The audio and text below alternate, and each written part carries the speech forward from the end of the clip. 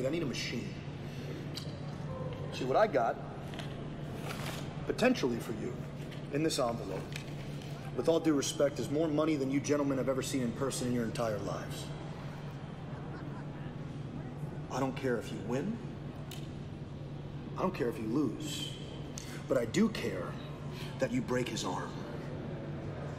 Sound doable? You could probably work that out. It's good. Are you crazy? Want the money or not? Brian, Brian, the money. The money.